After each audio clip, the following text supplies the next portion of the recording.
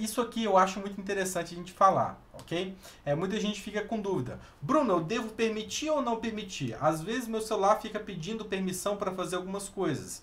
Eu devo permitir ou não devo permitir? Esse aqui é um ótimo exemplo para dar, tá? O que, que o aplicativo está pedindo permissão? Vamos ler. Per... Olha a pergunta. Permitir que o InShot, que é esse aplicativo, acesse fotos e mídias do seu dispositivo? Olha só que interessante. Será que a gente deve permitir ou não permitir? O que acontece, gente? O aplicativo, se você não der a permissão, ele não consegue fazer aquela determinada tarefa. Então, só de instalar o aplicativo, ok? Só de instalar o aplicativo InShot, ele, ele entra no celular é, sem nenhuma permissão. Né? Quando eu falo permissão, é permissão sensível. Acessar foto e mídia é uma permissão sensível. Então imagine, o aplicativo vai ter acesso às suas fotos e seus vídeos. Né? Então isso é uma permissão sensível. Agora a gente tem que sempre analisar o contexto. Se eu quero criar um vídeo, ok?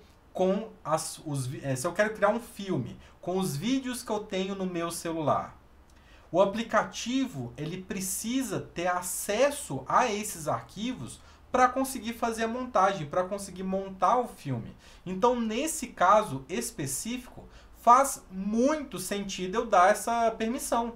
Porque se eu não der a permissão, o aplicativo não vai conseguir localizar as fotos ou vídeos que tiverem no meu celular para poder é, é, é, criar o filme. Então é lógico que eu preciso permitir. Então vou apertar aqui em permitir. Então sempre você vai analisar isso. Tá? Se o aplicativo está te pedindo uma permissão, você vai analisar se aquela permissão faz sentido ou não, ok?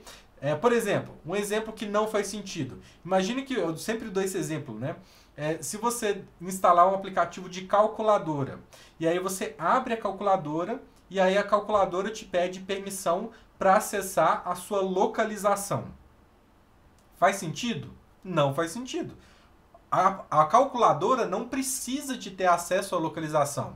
Agora, um outro exemplo. Imagina que você está ali com o iFood e para o iFood saber o seu endereço, ele pede a sua localização para mostrar os restaurantes que estão próximos de você. Aí ele te pede a permissão da sua localização. Faz sentido? Aí faz sentido. Né? Então, sobre é, é, permissões, é isso que você tem que ter em mente, tá? Se faz sentido ou não. Thank you.